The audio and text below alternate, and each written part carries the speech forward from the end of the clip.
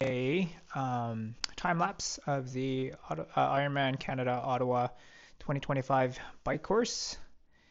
Um, so it's going to be 180 kilometers, uh, 2.75 loops of of this trek.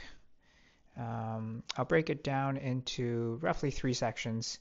Um, sort of the Western Parkway uh, from T1 uh, the downtown section, um, and then the Eastern Parkway. Uh, so we'll do a time lapse um, of the uh, of the the first lap, so about 64 kilometers, uh, stopping right around this section here, and then so that'll be one lap, and then you'll do a second lap from here all the way out, and then the third lap you'd start here, um, go all the way out and then stop by Parliament uh, for T2. All right, here we go. So we are leaving T1 right now. Britannia Beach is to the uh, behind us. We're going up Greenview Avenue. There's a bit of a climb here, coming up to Carling Avenue. We make a left. It's a busy road here, but uh, should be all cleared up for race weekend. Now, we're going to be swinging a right to enter the western part of the parkway. This parkway is actually divided up into west and eastbound traffic. Uh, I'm currently traveling on the westbound lanes, heading east. Uh, it's what's closed for Ottawa's active use weekends. There's a lot of construction right now, as you can see, um, with the light rail train project and the Westboro Beach rejuvenation. So hopefully that gets all cleared up or at least most of it uh, before race day. Roads here is a little bit rough, uh, but again, hopefully will improve after all the uh, construction is done. This is a little bit rolling. There's a little bit of a climb here. And then another one right here. And you get that downhill down. The War Museum is to towards your left-hand side there. And now we're going to be entering the downtown section.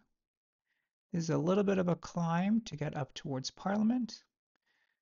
Down into the downtown section. We turned on to Lyon and then Laurier. We're going to be continuing straight on Laurier all the way across. There is City Hall to the right hand side. And we're going to be turning right to enter the Queen Elizabeth Parkway. Again, this area is closed on weekends for active use. From here, we'll be making a right-hand turn.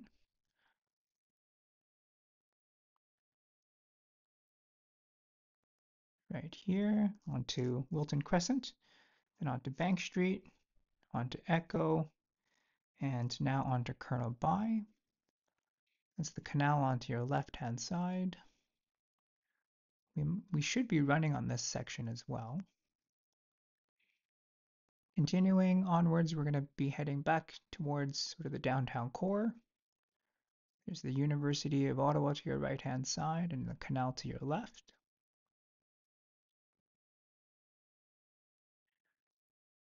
This is Rideau Street here, so Parliament is actually towards your left. That's where T2 will be and the finish line. Now we're exiting the downtown area and we're heading towards the Eastern Parkway. This area is a little bit rolling.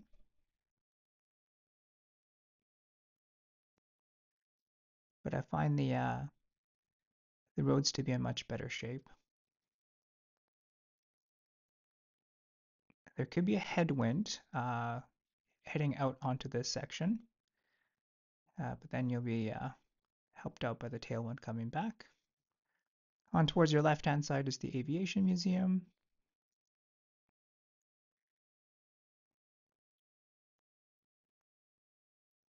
Again, a little bit of a rolling terrain coming up towards the end before the turnaround. We're going over a little overpass.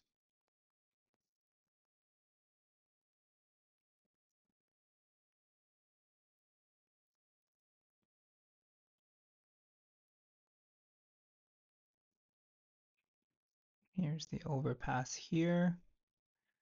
And then dip down, make the U-turn, and then now heading back.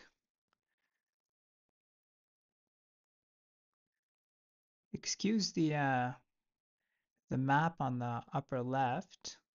Um, I think the GoPro's GPS kind of wonked out a bit there, but it is a straight out and back in this section, so that double track you see coming up is uh, is a little bit false. So heading back from the eastern part of the parkway, and there's the Aviation Museum to your right hand side.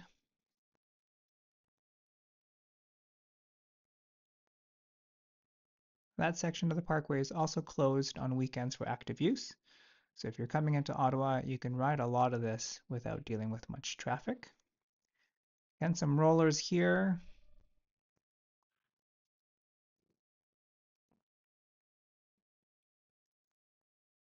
Heading back now into the downtown section again.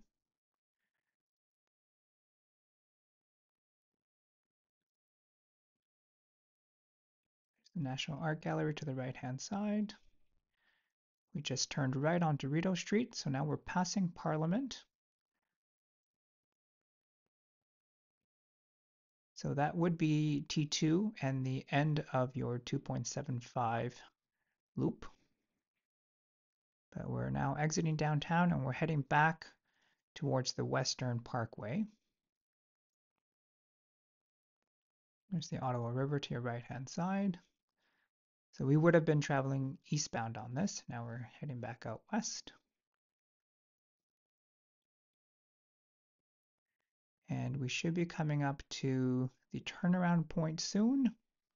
So we don't go all the way back towards T1. We make a turn a little bit before. So that is a conclusion of the first loop of the Ironman Canada Ottawa 2025 uh, bike course. Um, so that was about 63, 64 kilometers um, with 241 mil, uh, meters of elevation, and that was similar on my Garmin as well, um, and then on Strava. So the major points of the major sort of climbs or rolling sections uh, is just coming out of T1 uh, to get onto Carling. It's going to be a little bit of a bump. Uh, on the Western Parkway, there are a couple of little risers. Um, coming into downtown, uh, there's going to be a rise, um, yeah, coming up to Parliament Hill. Downtown is pretty flat. Uh, all the section is pretty flat. And then coming in towards the far end of the Eastern Parkway, uh, there's a little riser going up the overpass and then back down. And then again, climbing into Parliament, there's going to be another little bump here. And then going down. I was riding uh, a compact 5034 with an 1130 cassette in the back. Um, I never had to drop down into the small chainring, um, but was using the last two to three cogs pretty liberally just to spin up some of these hills and not having to stand. But if you're running something a bit bigger or tighter, uh, in the back. Uh, you might be standing just to uh, get up those climbs, but it might be nice to change the position a little bit. And that's it. So there's the Western Parkway, downtown section, Eastern Parkway, heading back, um, and then turn around before you head back towards T1. Do that all over again one more time, plus uh, another time, but ending at Parliament and that would take you uh, probably close to 180 kilometers, 2.75 loops. Hope that was helpful.